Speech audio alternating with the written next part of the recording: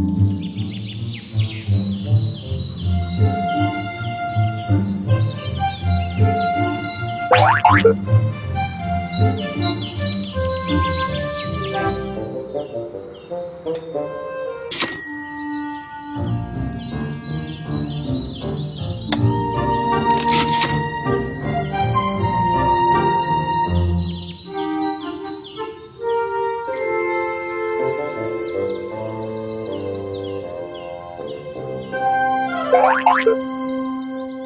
morning. It's Wednesday, May 29th, and I have ranted several times over the past couple of months, I guess it was, about Mother Nature and how she strikes and kills lots of people.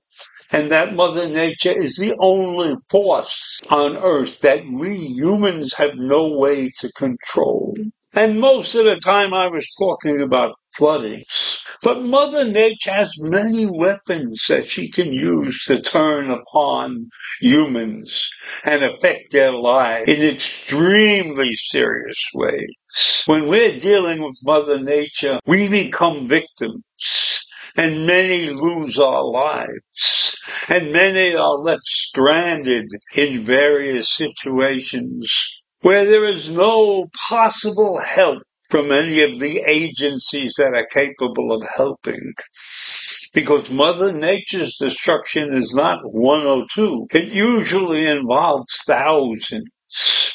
And the latest episode in her life is in Papua, New Guinea, where thousands of people have been ordered to evacuate Papua following a massive landslide. Right now, as many as 2,000 people are feared to have been buried in that disaster that rattled the mountainous Enga region. And that happened on Friday. And rescuers are struggling to reach such a remote part of what is already one of Asia's poorest nations.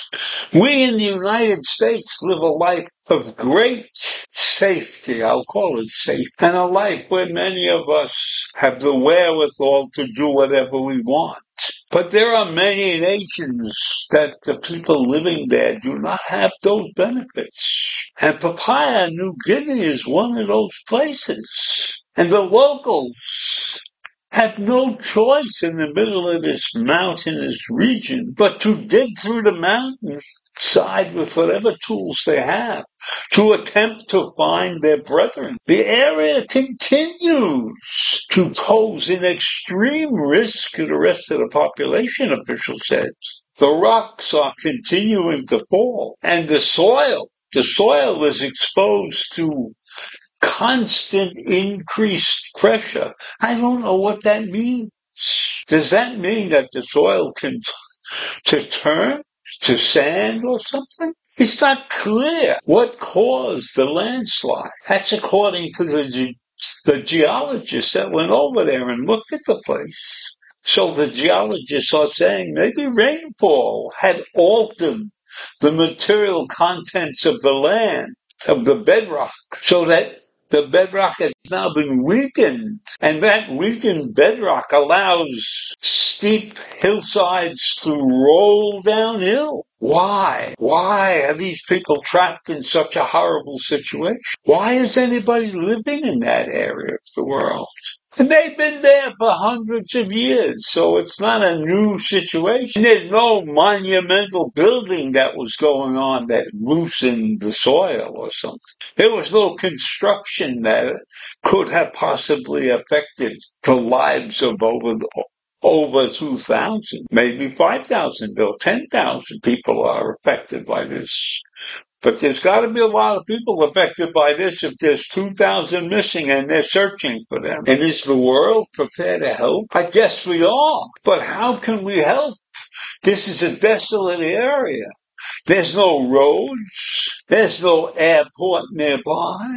What can we possibly build bring into that country to help them. I mean, I don't think that there's any type of heavy equipment that you could use to scour a mountainside. It's got to be done by hand.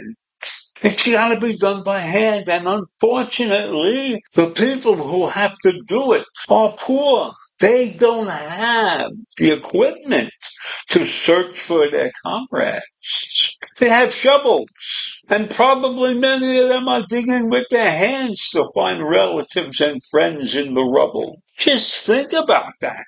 Endanger their own lives to find the lives of their relatives and friends. And there's over 2,000 people that are missing. And I don't know exactly what the total population of that area is. 2,000 might be 10%. It might be 5% of the population. So you got relatives and friends out on the mountainside searching for these people. And as far as I know, no nation has come to its aid. The UN certainly hasn't sent anybody over there to help. And maybe that's because there's no place to send them. It's a futile situation. Now, I don't know much about New Guinea, but it's one of the poorest nations in the world. And while it's a poor nation, they still deserve help. But where is that help going to come from? Certainly, we want to help, I'm sure. But can we afford to put our populations at risk digging through the rubble of a landslide? I don't know. I don't know what the answer is. I look at this, it's a monumental tragedy with no solution in my mind.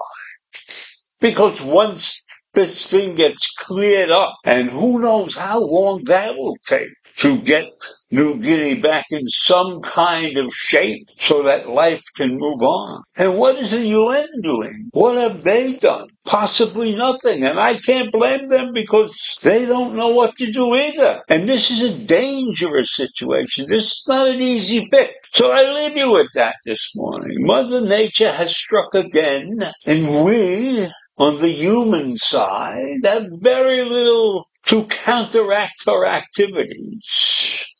So I feel sorry for the people of New Guinea. And I hope that this thing comes to what I will call a decent solution, which will be a horrible one anyhow. So I leave you with that.